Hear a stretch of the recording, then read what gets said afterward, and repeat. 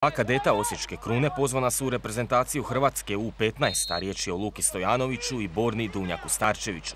Novo je to priznanje za krunu Osijek koja je ove sezone nastupajući u četiri mlade kategorije rezultatima pokazala potencijal, ali i temelj za uspješnu budućnost ovog sporta u Osijeku. Posljednji uspjeh bilježe Nade, najmlađa kategorija koja je izborila osmo mjesto na prvenstvu Hrvatske. No u klubu posebno ističu nastup na velikom natjecanju Mali Medo gdje je nastupila ekipa osječkih kadeta rođenih 96. godine. Prvi je put to nakon 24 godine da su i Osjećani pozvani na taj veliki međunarodni turnir. Mi smo tamo zauzeli šesto mjesto, u borbi za peto mjesto smo izgubili od juga.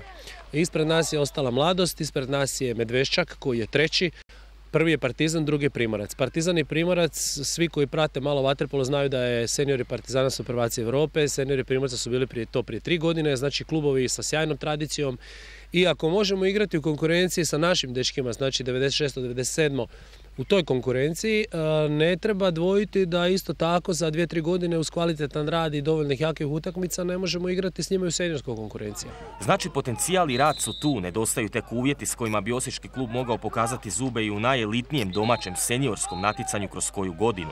Do izgradnje kompleksa Gradski vrt gdje bi trebali biti riješeni dugogodišnji problemi osječkog vodenog sporta, momčad Krune bi trebala imati jak sastav od domaćih igrača i u najstarijoj seniorskoj konkurenciji.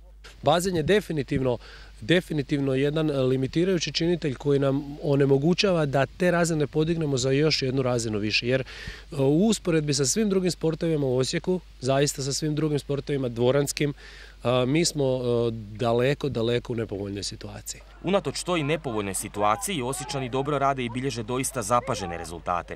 Sezona još nije gotova, jer kadeti igrači 97. godišta igraju sljedeći tjedan u Zagrebu turnir završnice prvenstva Hrvatske. Vrijedi očekivati nov uspjeh mladih Osjećana.